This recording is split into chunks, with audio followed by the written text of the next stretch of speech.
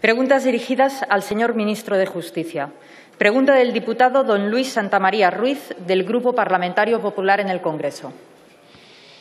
Señor ministro, mi grupo quisiera hoy hacerle una pregunta muy sencilla. Usted ha anunciado una reforma de los delitos de sedición y rebelión y quisiéramos saber si es una imposición del nacionalismo para negociar los presupuestos generales del Estado. Gracias. Señor ministro de Justicia. Gracias, señora presidenta. Señor Santamaría, voy a empezar de una manera inusual, pero es dándole las gracias a su grupo parlamentario y a usted por el esfuerzo que han hecho para que Hoy está en el Boletín Oficial del Estado una ley de medidas procesales y organizativas para hacer frente a la COVID. Un texto que entró y que hoy es más rico gracias a su esfuerzo.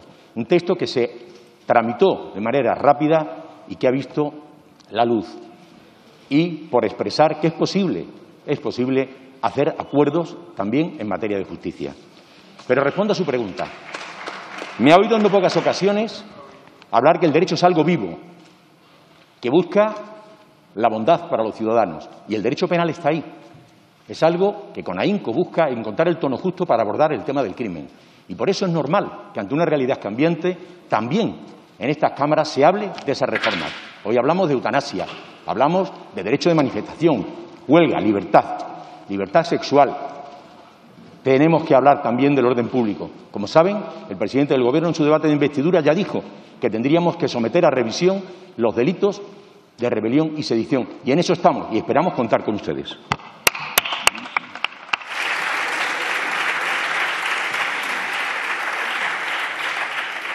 Señor Santa María Ruiz. Campo, la palabra del presidente Sánchez Huido vale bien poco.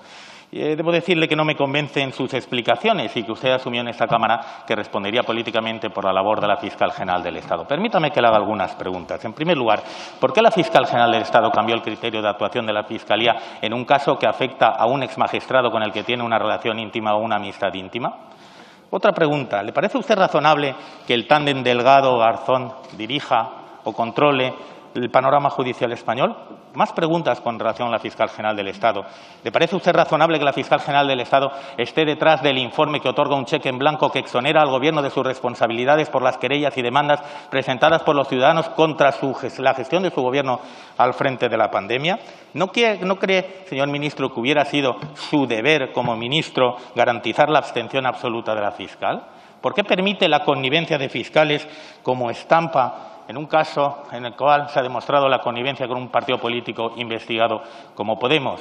Señor ministro, la degradación de las instituciones está llegando a un nivel absolutamente insoportable. ¿Cómo se puede tolerar que un fiscal del Supremo hable de sus compañeros en términos diciendo que con esta tropa no se puede ir a la guerra? ¿A qué guerra se refiere, señor ministro? ¿Qué guerras están ustedes alimentando y a qué precio vamos a pagar los españoles por ellas? Y, señor ministro, yo no sé si recuerda usted esta imagen y lamento tener que sacarla, pero jamás pensé que vería al ministro de Justicia del Gobierno de España reuniéndose con una de las personas por el mayor escándalo de corrupción de toda Europa. ¿Permitirá, señor ministro, que le pregunte o que haga una reflexión en relación con la fiscal general del Estado? ¿Será neutral e imparcial en los más de 100 casos que quedan por juzgar y que afectan por corrupción al Partido Socialista andaluz? Señor ministro, el 18 de febrero el presidente Casado le ofreció a Sánchez firmar un compromiso por España para poder pactar aquellas cuestiones que al margen de independentistas, al margen de populistas, pudieran servir para construir esa España mejor que todos anhelamos. Y su respuesta va a consistir no en un indulto, sino en una amnistía a los presos condenados por el proceso. Y eso se llama una traición al compromiso de diálogo que usted nos está diciendo. Mire, cuando ustedes blanquean a Bildu, cuando ustedes niegan el número real de víctimas de la COVID, cuando cesan Muchas gracias, señor Santamaría.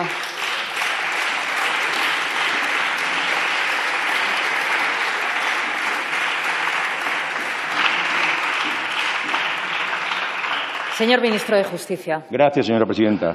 Señor Santamaría, hace un momento elogiaba la conducta de su grupo y la de usted particular. Pero le voy a decir una cosa, y se lo digo con la misma humildad. Hay veces que con nuestras palabras sacamos la peor caricatura de nosotros. Mire, Quizás hacen bueno eso de que donde no hay ideas se amontonan las palabras. Señor Santa María, ¿qué quiere que le diga? Mire, tenemos que reformar el Código Penal porque hay un nuevo orden que proteger. Tenemos que proteger al Tribunal Constitucional. Tenemos que analizar por qué nuestro derecho se separa de códigos penales. Yo sé que usted, más que penalista, es europeísta. Le digo, dígale a alguien que le informe sobre qué dice el Código Penal francés, el Código Penal italiano, el Código Penal alemán.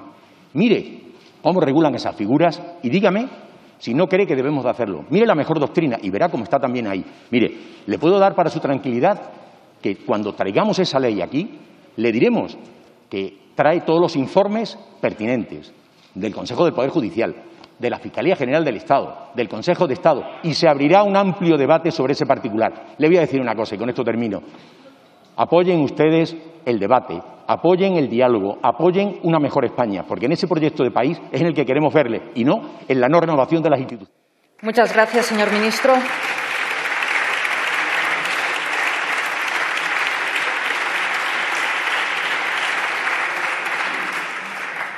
Pregunta de la diputada doña Laura Burras Castañé, del Grupo Parlamentario Plural.